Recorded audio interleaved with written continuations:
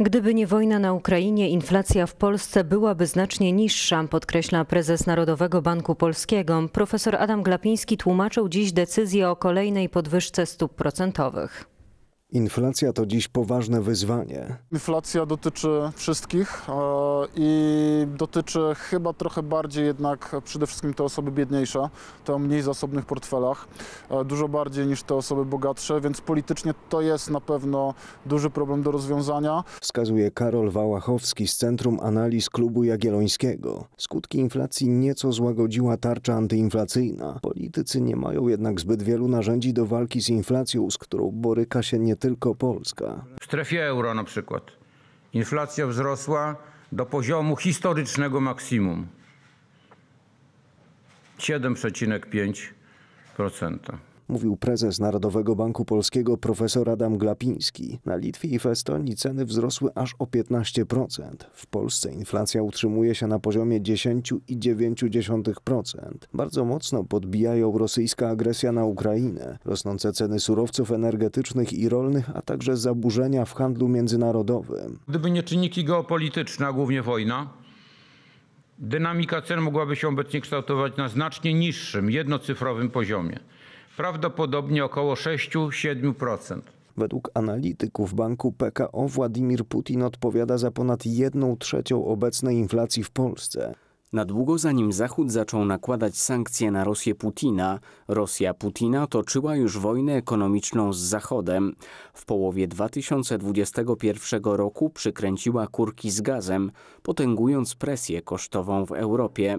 Naszym zdaniem Putin odpowiada za ponad 1 trzecią obecnej inflacji w Polsce. Bo ceny gazu odpowiadają za 50-80% wzrostu cen żywności w ostatnich miesiącach. Na wzrost cen wpływają także nakładane na Rosję sankcje, mówi wicepremier Jacek Sasin. Warto je ponieść, żeby zatrzymać machinę wojenną e, Putina, bo lepiej e, w, troszkę ucierpieć w wyniku sankcji, niż być obiektem agresji militarnej ze strony Rosji. Pracujemy nad tym, żeby rzeczywiście na ten e, kryzys e, związany z wojną, z sankcjami, która wszystko na to wskazuje, będzie kryzysem jednak dosyć długim. To, to nie jest tak, że to jest coś, co minie e, za chwilę, żeby się do tego dobrze przygotować. Bo nikt nie jest w stanie dziś przewidzieć, ile potrwa wojna na Ukrainie. Z rosnącą inflacją walczy Narodowy Bank Polski. Wczoraj po raz kolejny zapadła decyzja o podniesieniu stóp procentowych. Główna stawka wzrosła o 1 punkt procentowy i wynosi obecnie 4,5%.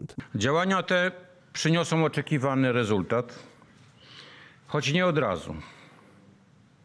Zawsze bowiem oddziaływanie polityki pieniężnej, jak wiemy, na gospodarkę, na inflację zajmuje sporo czasu. Zazwyczaj jest to co najmniej kilka kwartałów. Bo kluczowa jest teraz obrona kursu złotego, podkreśla profesor Mariusz Andrzejewski. Podwyższanie stóp procentowych w Stanach Zjednoczonych może bowiem doprowadzić do zabierania dolara z Polski i osłabienia kursu naszej waluty, a to oznacza wyższe ceny paliw i żywności i dalszy wzrost inflacji. Narodowy Bank Polski, robiąc taki odważny ruch, odważną, stop, stop, odważną podwyżkę stóp procentowych, w moim, w moim przekonaniu działa, stara się wyprzedzająco obronić kurs złotego. Dzisiaj to jest najważniejsze w gospodarce. NBP-owi udało się w tym najtrudniejszym czasie wojny ustabilizować kurs złotego. Teraz poważnym wyzwaniem są rosnące raty kredytów, bo każda podwyżka stóp procentowych oznacza wzrost rat kredytu hipotecznego. Wielu kredytobiorców jest już w coraz trudniejszej sytuacji. Mogą oni skorzystać z funduszu wsparcia, który umożliwia dopłatę do raty nie większą niż 2000 zł miesięcznie. Co wystarczy zrobić, żeby z tej pomocy skorzystać? Złożyć wniosek do Banku Gospodarstwa Krajowego. Na ten moment w tym funduszu czeka na wsparcie 600 milionów złotych. Ta kwota może ulec zwiększeniu, jeśli będzie taka potrzeba. Mówił wiceminister finansów Piotr Patkowski. Lewica wzywa rząd do podjęcia stanowczych działań. Proponujemy, żeby rozszerzyć system dopłat do kredytów mieszkaniowych dla tych gospodarstw domowych, które już teraz nie radzą sobie ze spłatą tych kredytów. Do tego dochodzi pomysł zamrożenia rat kredytów na poziomie, który nie będzie obciążał gospodarstw domowych. PSL swój apel kieruje do banków. Proponujemy, żeby jednak banki które znowu zarabiają na tym ogromne pieniądze, zeszli z- ze swoich marsz. Potrzeba działań ustawowych, żeby banki zmniejszyły tak zwane opłaty pozaodsetkowe, wskazuje ekonomista i poseł Prawa i Sprawiedliwości dr Gabriela Masłowska. żeby obniżały marże, żeby obniżały opłaty z tytułu ubezpieczeń, opłaty za przygotowanie umowy i wiele innych. Według medialnych doniesień rząd już pracuje nad takimi rozwiązaniami. Wśród nich mają się znaleźć dopłaty do kredytów dla tych, którzy zarabiają najmniej. Road.